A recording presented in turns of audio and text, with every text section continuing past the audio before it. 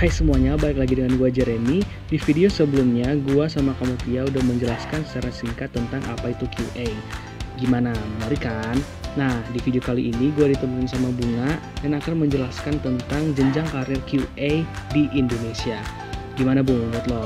QA itu karir yang menjanjikan gak sih? Wih, pastinya dong Jer. Zaman sekarang teknologi itu makin canggih. Apalagi tiap perusahaan berlomba-lomba going digital. Perusahaan juga nggak mau jika ada error di aplikasi dan websitenya. Maka dari itu, QA sangat berperan di sini. Talent di bidang QA lah yang akan mengecek kelancaran dan error di aplikasi dan websitenya. Makanya, talent di bidang teknologi sangat dibutuhin banget. Bener banget Bung, pasti sebagai seorang customer tuh kita males kan menggunakan aplikasi yang sering error.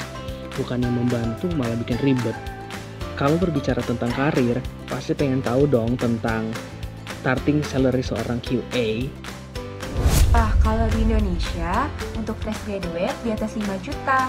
Apalagi untuk level manager itu bisa di atas 20 juta loh. Wah, yang gini-gini nih yang gue suka. Hmm, tapi susah nggak sih jadi QA itu? Tenang Jer, untuk tips-tips selanjutnya akan dijelaskan di video-video selanjutnya ya.